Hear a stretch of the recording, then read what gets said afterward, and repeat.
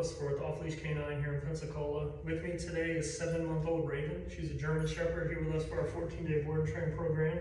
So Raven has already been through a few lessons with us, uh, more a few months ago when she was a puppy, but obviously she has retained some of that. Uh, so they're here back for us with our 14-day board and train program.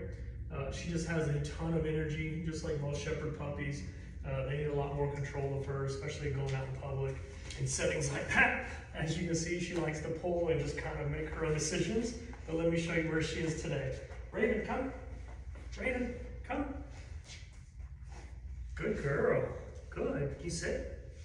Raven, sit. Good. What about down? No, I'll shake, but thank you. No. okay. Hey, come here. Raven. Raven, here. Place.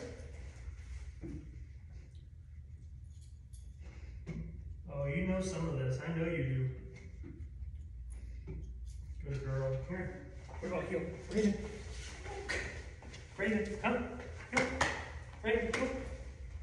Heel. Raven. Hey, heel. Raven. Come here, kiddo. Come here. Oh my goodness. All right, guys. So that's where Raven is day one. Keep watching her video. You'll see her progress after 14 days.